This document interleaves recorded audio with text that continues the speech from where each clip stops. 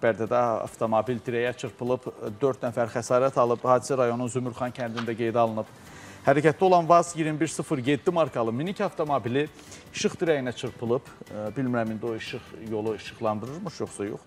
Qəza nəticəsində Tərtər rayon sakinləri Mətləb Quliyev, Nəcibə Həsənova, Qəndilə Haqverdiyeva, Vüsalə Əhmədova xəsarət alaraq Bərdə rayon mərkəzi xəstəxanasına yerləşdiriliblər. Faktla bağlı araşdırma aparılır. Yenə dostlar, bir rayondan, bir şəhərdən başqa bir rayona, şəhərə gedən yol yenə də qaranlıq, yenə də qaranlıq yol və qaranlıq yol olanda da qəzaların sayı artır.